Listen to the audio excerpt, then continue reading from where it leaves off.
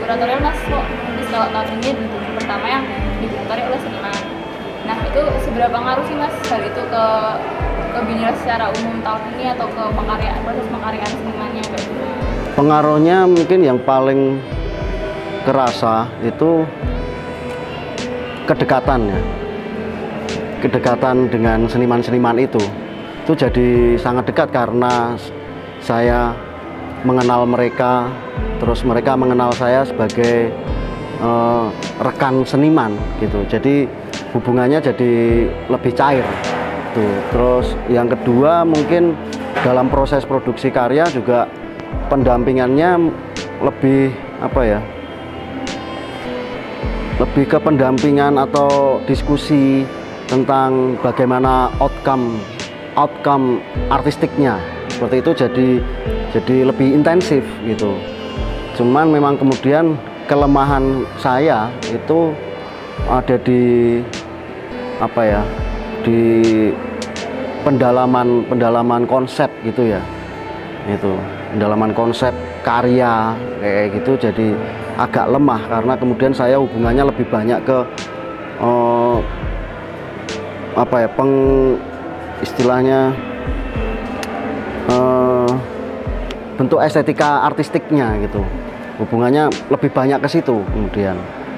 Bedanya lebih di situ sih. Karena juga saya kemudian dalam proses kurasi ini saya melebur bersama mereka sebagai seniman juga. Jadi ad- ada satu masa di mana ketika ngobrol dengan mereka itu aku memposisikan diriku sebagai kolaborator seniman seperti itu Eh, terus kan kalau aku kan eh, termasuk masyarakat awam gitu ya melihat judul gitu aku merasa malah tahun ini lebih seperti boot-boot kayak bentuk ruang aktivitasnya seperti mas kok teruskan. Nah itu kenapa akhirnya dibuat seperti itu mas? Kenapa beda dengan birunya tahun lalu? Karena sebenarnya sederhana saja.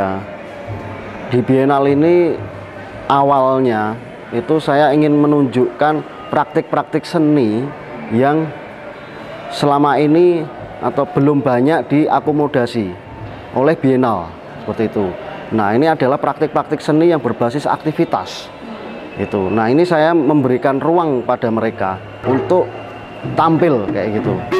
Bahwa ada seni seperti ini di Jogja gitu. Atau di Indonesia, seni berbasis aktivitas gitu. Dan itu juga eh, kalau dari sistem kuratorial saya memang kemudian ada tujuan untuk mengajak eh, penonton atau pengunjung itu terlibat aktif dengan karya-karya seni seperti ini yang berbasis aktivitas gitu dan eh, event kayak gitu ya. Itu juga karena pengen membuat satu membuat sebuah perhelatan atau festival seni rupa yang biasanya ada di dalam gedung gitu. Dan satu arah itu lebih lebih terbuka gitu festif gitu jadi ada kegiatan gitu.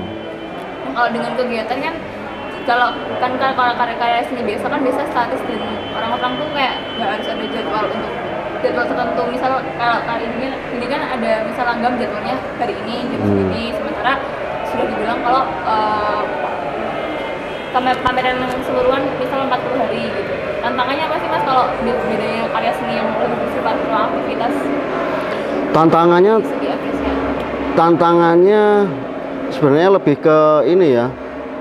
Ada dua macam hal dari secara internal panitia dan seniman itu kemudian jadi harus memiliki memiliki kemampuan manajerial gitu scheduling terus mengurus pengorganisasian acara seperti itu jadi tantangan secara internal dan ke kalau yang eksternalnya itu tantangan kemudian berhadapan dengan publik yang yang ber- beraneka ragam yang kita nggak tahu gitu. Nah itu yang sangat menantang. Hasilnya kemudian akan seperti apa? Apakah interaksinya kemudian akan ukuran keberhasilannya itu bergantung pada publik ketika mengakses atau terlibat atau berpartisipasi dalam karya tersebut. Itu yang kembali lagi ke ke ke, ke sistem manajerial yang harus dimiliki oleh seorang seniman gitu. Mengukurnya seperti apa gitu. Mempersiapkannya seperti apa targetnya seperti apa.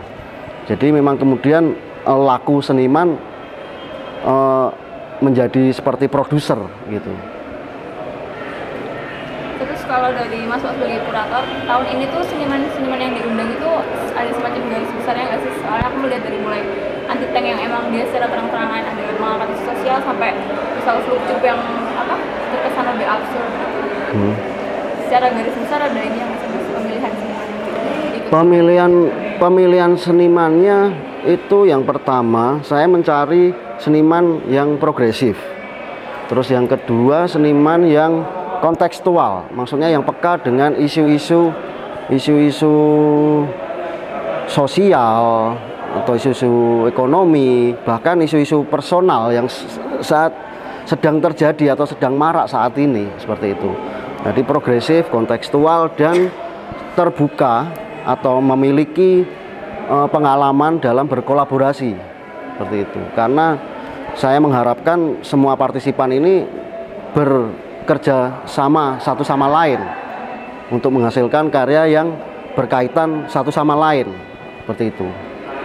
Terus eh, dari tadi ngomongin konteks tadi di buku ini kan ada kayak beberapa subbab tentang subbab tentang misal em, Kategorisasi. ya kategorisasi itu prosesnya gimana mas? Apa dari karya dulu baru dikategorisasi? Karya dulu. Karya muncul. Jadi kita kan mendiskusikan semuanya itu eh, dalam sebuah forum. Forum seniman yang dikelola atau dilaksanakan setiap bulan, satu bulan sekali. Nah, di situ kami mengumpulkan eh, ide-ide yang muncul, terus kemudian eh, wacana-wacana apa yang mau dibahas. Nah, dan didiskusikan bareng-bareng. Nah, kemudian muncul ini karya-karya ini, ide-ide ini muncul. Nah, kemudian saya mengkategorisasikannya untuk eh, me- apa ya? Sistem kategorisasi ini atau klaster ini saya buat untuk mengelompokkan eh, wacana-wacana yang muncul dari seniman-seniman itu. Seperti itu dan bagaimana kemudian antar klaster ini eh, dihubungkan. Itu itu apa ya sistem yang saya rancang untuk untuk untuk me- untuk memudahkan membaca wacana-wacana yang dibuat oleh seniman-seniman ini. Kalau dari tema hacking konflik dan bentuk pameran dunia seperti ini ruang aktivitas, kira-kira apresiasi dan apresiasi apa yang uh, anda harapkan sebagai kurator dan bayangan efek apa sih yang akan diberikan oleh model pameran seperti ini atau masyarakat? Eh, seni aktivitas yang ditampilkan oleh seniman-seniman ini itu sebenarnya tidak apa ya tidak bisa diukur atau tidak bisa disandingkan dengan eh, dengan program-program kreatif dari apa ya dari acara-acara atau proyek-proyek aktivisme gitu yang semuanya harus diukur dengan pasti. Harus diukur dengan pasti. Targetnya harus seperti ini kegagalannya seperti ini. Nah ini tidak seperti itu. Ini itu kenapa muatan muatan seninya ada di eksperimentasi spekulasi gitu. Di spekulasinya itu bahwa ya eh, hasilnya tentu saja bukan suatu hasil yang langsung gitu didapat oleh publik atau masyarakat. Hasilnya akan sangat ini ya sangat pelan. Sangat pelan. Jadi karena sifatnya lebih menginspirasi. Ya orang datang kemudian terlibat langsung artinya itu adalah bela- eh, belajar sambil melakukannya seperti itu. Nah efeknya ya menginspirasi. Itu bagi saya dan seniman-seniman itu lebih penting daripada hasil yang langsung dan nyata itu perubahannya itu enggak. Pelan menginspirasi aja. Dan kemudian karena eh, karena wacananya kemudian diserap dengan melakukannya itu kemudian jadi lebih masuk gitu.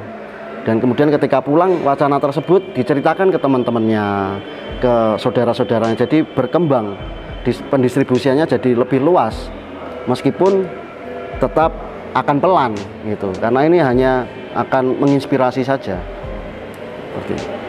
Kalau kan ini kali ini Biennale dengan bekerja sama Indonesia di Nigeria, Mas Wak melihat uh, benang merah apa sih yang paling kelihatan dari karya-karya dari isu-isu yang diangkat oleh seni Indonesia sendiri? benang merahnya mungkin di apa ya isu yang kemudian dibicarakan gitu. Seperti tentang sum, uh, sumber daya alam itu konflik-konflik di pengolahan sumber daya alam terus kemudian ya lingkungan terus uh, pangan terus kemudian minyak itu yang dan permasalahan sosial itu yang kemudian uh, apa ya mirip memiliki kemiripan ketertarikan yang sama. Karena memang seniman-seniman Nigeria itu yang saya pilih itu juga e, mereka seniman-seniman yang sangat kritis dengan kondisi kondisi negaranya saat saat ini seperti itu. Jadi itu yang menyambungkan mungkin uh, kalau bentuknya pameran yang ruang aktivitas ini udah ada belum sih sebelumnya di Indonesia? Di Indonesia banyak. Sebenarnya sering kayak sering sering dilakukan. Sering dilakukan cuman jarang dipentaskan di sebuah event yang besar seperti bienal